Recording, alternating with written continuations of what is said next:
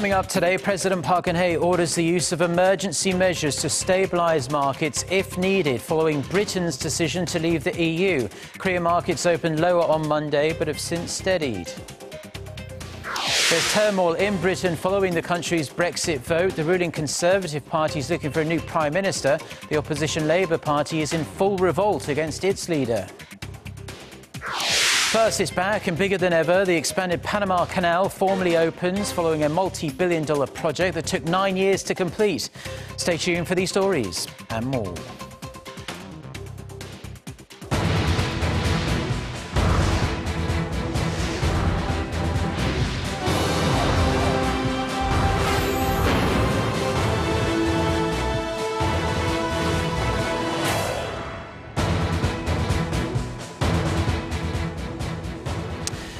Hello, it's noon on Monday, the 27th of June. You're tuned in to our midday newscast here on Arirang TV. Thank you for joining us. I'm Mark Broom.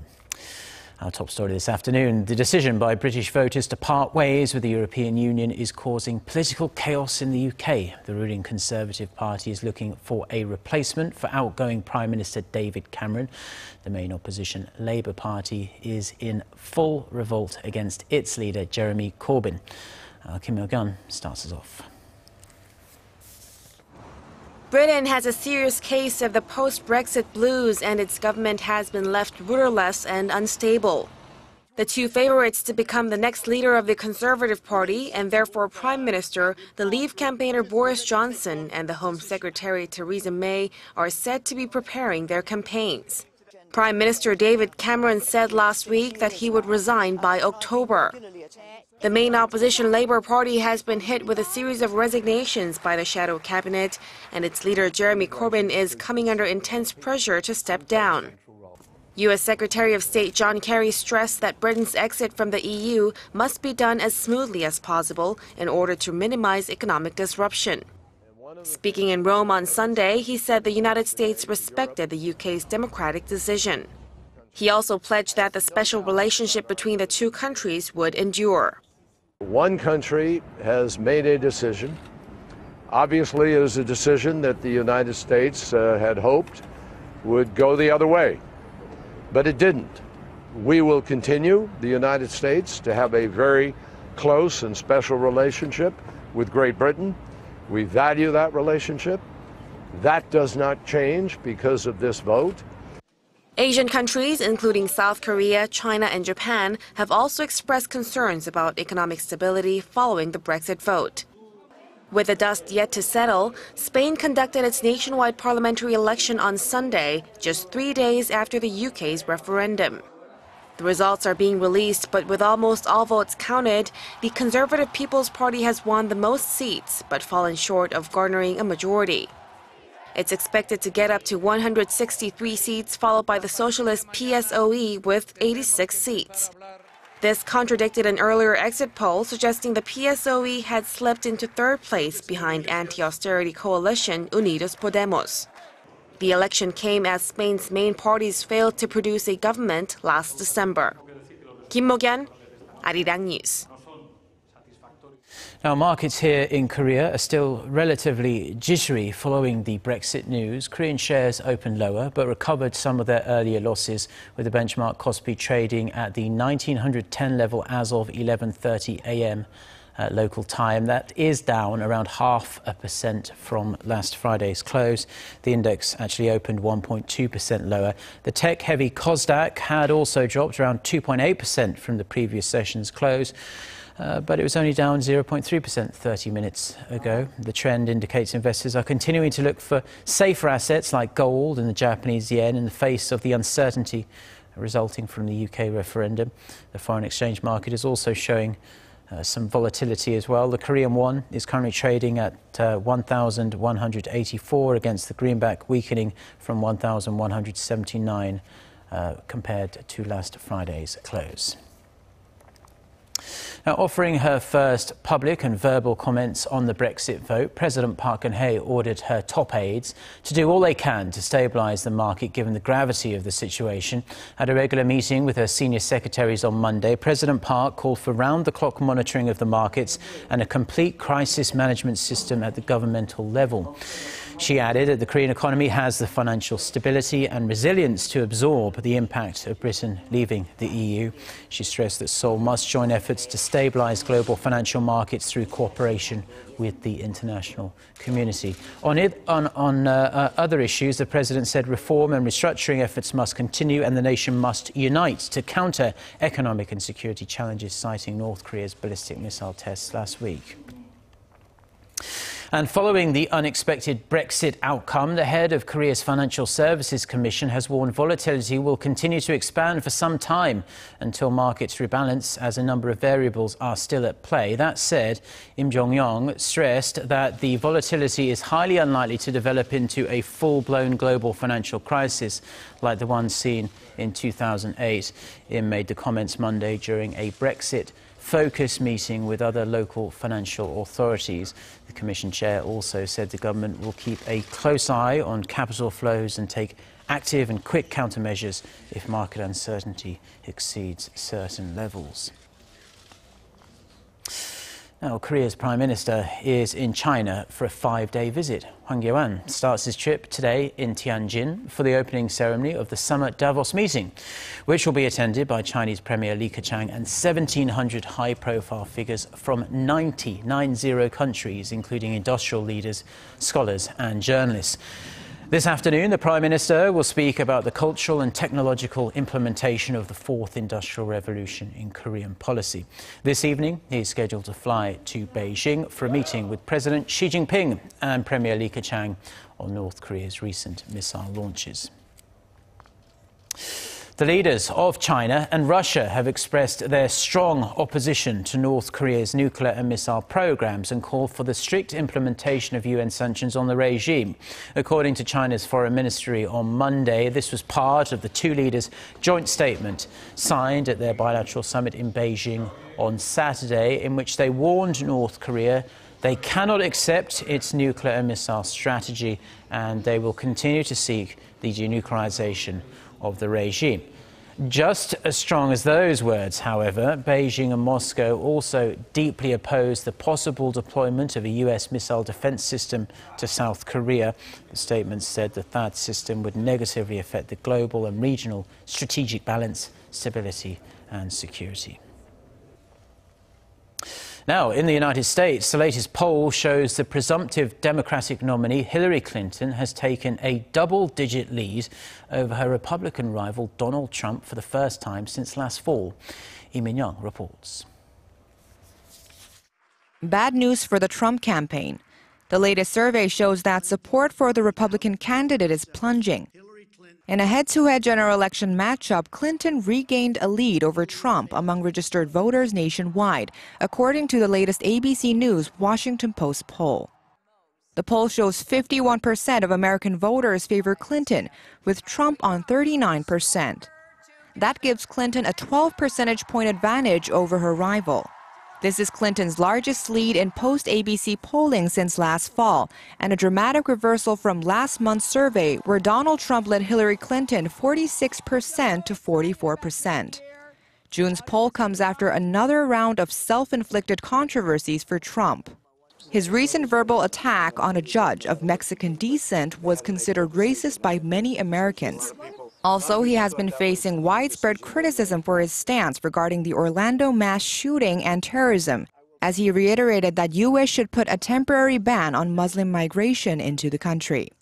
The poll showed only 28% of voters felt Trump did better than Clinton in responding to the carnage in Orlando.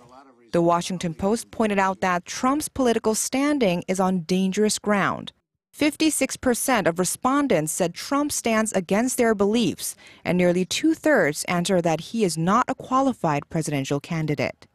Lee Min-young, Arirang News. Now, it was supposed to be ready in 2014, but nine years after work started, the new expanded Panama Canal has finally opened for business. The renovation of the 102 year old canal will allow larger ships to travel between the Pacific and the Atlantic Oceans. Korea is also expected to benefit, as our Hwang Ho-jun reports. To some, it's one of the seven wonders of the modern world. The revamped Panama Canal reopened on Sunday following its first renovation since it was first constructed in 1914. The Panama Canal 102 years ago connected two oceans. Today it connects the present and the future. The completion of the 5.2 billion US dollar project that started in 2007 was marked by a Chinese ship carrying about 9,000 containers voyaging through. Thanks to the expansion, the canal's capacity has doubled, allowing a new generation of container ships that are about 130% larger in size to pass through. Capacity wise, the new set of locks will also allow ships that carry up to 14,000 containers, an increase from 4,400 containers. Korea will also benefit from the updated canal. Travel time for large shipping vessels from New York to Busan took about 45 days when using the Suez Canal.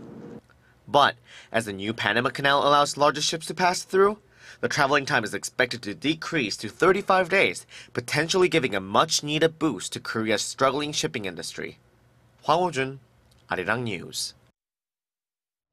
Iraqi forces have recaptured the city of Fallujah from Islamic State militants after a month-long operation. Fallujah, a major city in Anbar province, was the first Iraqi city to be captured by ISIS fighters in early 2014.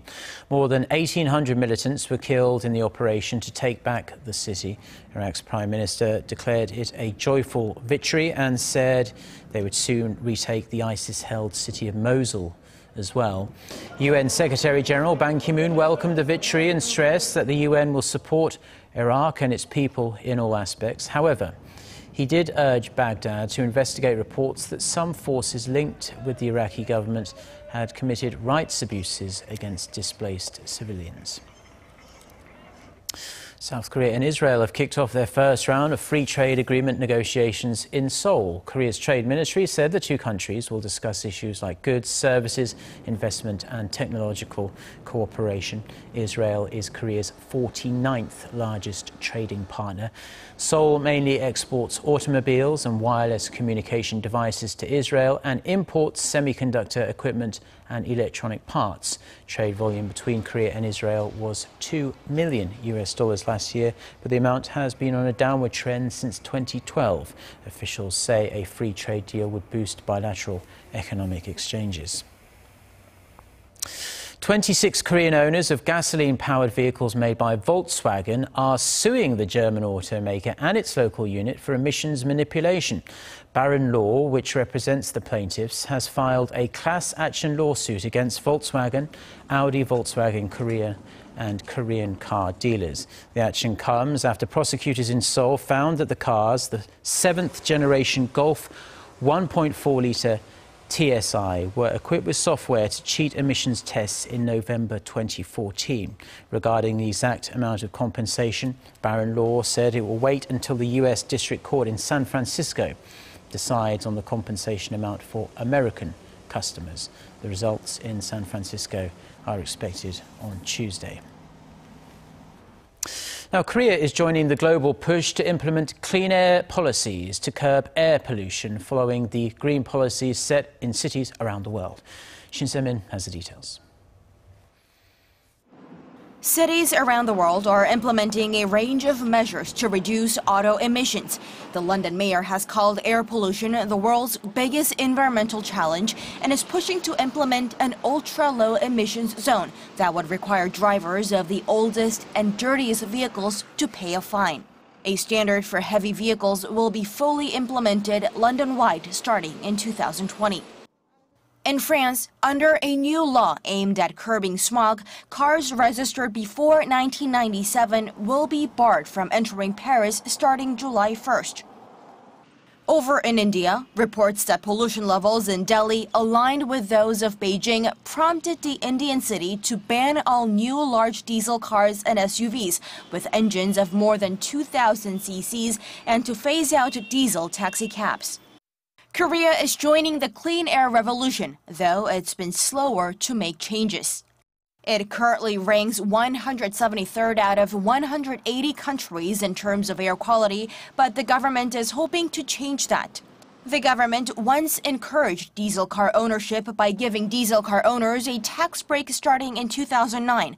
The policy worked, though maybe too well. And Korea's Automobile Manufacturers Association says last year nearly 45% of all registered vehicles ran on diesel, or four times the number in 2008. But the government is now taking a different approach. It plans to strengthen restrictions on aging diesel cars while promoting electric vehicles, with the goal of having them represent 30% of all auto sales by 2020. Experts say such efforts are a must. Also, there is a you know necessary for the government and other civil society organizations to tell the general public that actually diesel vehicle is very harmful for some ex- in some aspect, right? That's where we need to place the uh, you know effective regulatory measures uh, by the government. Experts are optimistic that cities in Korea will be able to go all electric by 2030 by following the example set by Jeju Island. 신세민 아리랑 뉴스.